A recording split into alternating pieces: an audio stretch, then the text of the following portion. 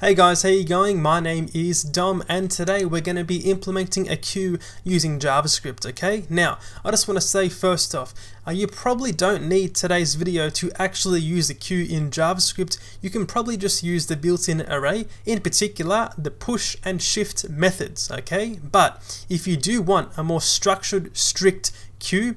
You can follow today's video to of course make that happen or if you just want to learn something, today's video might be the one for you. Okay, now I also want to say I'm going to be using Node.js for this example and that also comes along with a package.json with a type of module. So I'm going to be using the type of module right here so I can take advantage of uh, the native import export syntax as part of ES6 um, and that right there is just something you can follow if you're also using Node.js, but back to the actual queue. So, for those of you who don't know, a queue is basically just a first in, first out data structure, which means the first item you put into the queue is going to be the first one that gets out of the queue. Okay, so this can relate to, for example, a shopping center line. If you are going to, you know, check out your items, if you get there first, you're going to be removed first, right? You're going to be served first. So that is what a queue is. So now, let's go inside here. Let's make a new file inside my directory structure called queue.js, just like this. And this one here is going to be exporting a class called queue. So we're going to say export default class right here. We're going to be calling this class a queue and if you're not too sure what this export default stuff is, I've got a whole video dedicated to that. I'll leave it in the top right of today's video, and the same goes for classes. But as a quick summary, uh, export default just means that when I import this queue.js file from this file right here, when I import it, I'm going to be importing this class directly, of course being the queue. Okay, now for the constructor of my queue, I'm going to go inside here and I'm going to simply just say this.items is equal to a new empty array. So by default, we're going to be holding a reference to each one of our items inside the queue inside this array. And of course, it's going to begin as being empty. Okay, so now to actually add items to our queue, we're going to be using the enqueue or the ENQ method. Okay, so we're going to say enqueue just like this. It's going to be taking through an item. Also, my apologies if I pronounce this word incorrectly. I've only seen it written, I've never actually seen it being, you know, said before. So anyway, um, right here we can add an item to our items array right here. So as we can see, we're using the built-in array as our way of holding each one of our items. So we're going to be simply calling the array push method. We're going to say this dot items dot push, then pass through here the item right there, and that is basically all there is to it. Okay, so that is our first method to add an item to a queue or to the queue.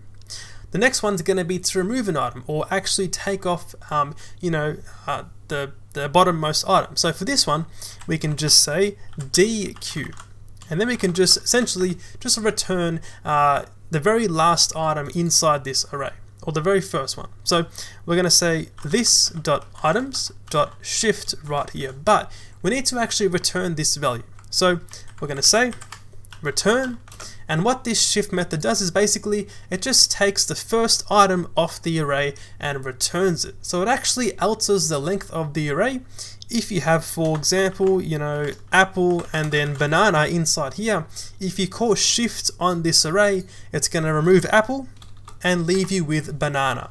And of course, actually give you apple as the return value.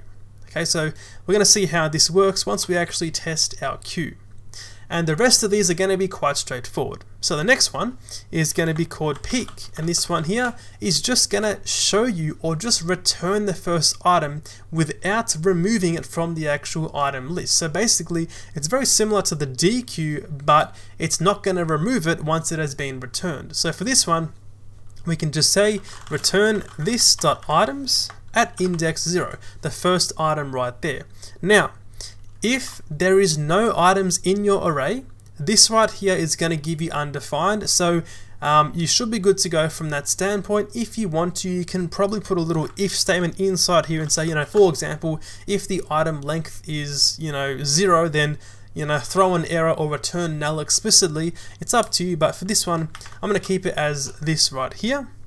And the last two methods, one of them is going to be called get size, quite straightforward, returning this.items.length.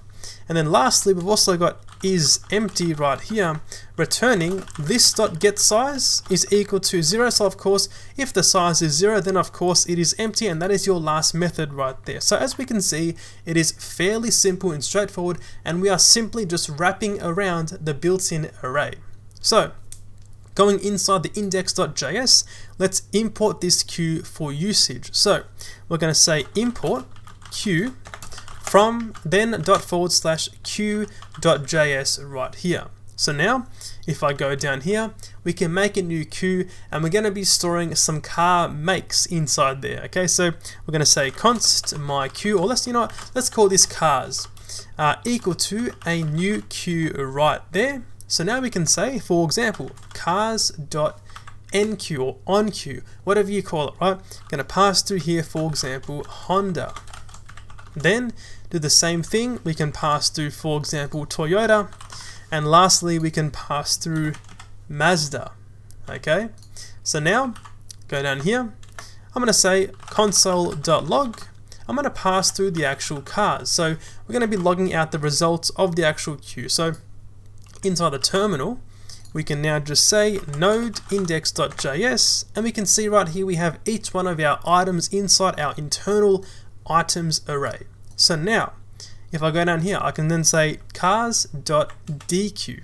Then I'm going to simply log out the results of the cars after we've actually dequeued the first item. Save this and run it again. And we can see we get Honda from the top of the array. Then of course left with Toyota and Mazda. And that of course is the results of our shift method right here. We can also say cars.peek. Let's look at the first item in the array. Save this, run it again, and we get Honda for the first one, then of course Toyota for the second peek.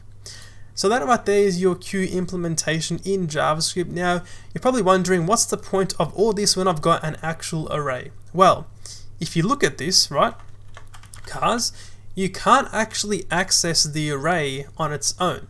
Okay, so obviously you can by doing this, but you know, if you're the developer of this, you probably should, you know, just sort of be wary that you want to be using the instance methods as opposed to, you know, this private or this, you know, fake private uh, instance property right here. Of course, you can hide it if you want to, but for the most part, you know, you've got these public methods which you can use, uh, you know, in order to protect the items from being accessed directly, and it gives you a much more strict and structured way of storing your data. So there you go, that is a queue in JavaScript. If you liked today's video, drop a like and subscribe to dcode. Thanks for watching guys and I'll see you in the next video.